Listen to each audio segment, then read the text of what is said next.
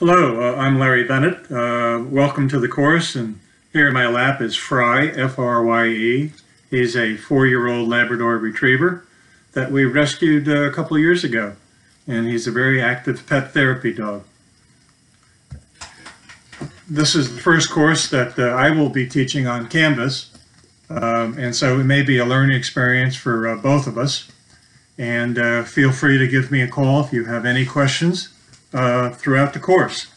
Uh, it's designed so that we learn from one another. So uh, each of your assignments where you're posting a video, I'll be asking you to watch uh, the videos of two fellow students. And, and then I will be commenting uh, on the videos and other assignments as well.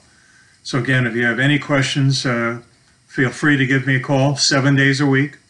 My cell phone is 513 470 2744. I've uh, posted uh, my resume.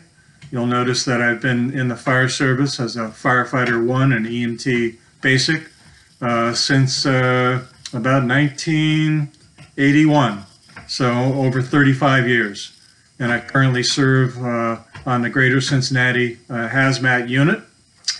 Been a lawyer for over 40 years and have a law practice here in Blue Ash. And if you have, again, any questions throughout the course, feel free to give me a call. Thank you.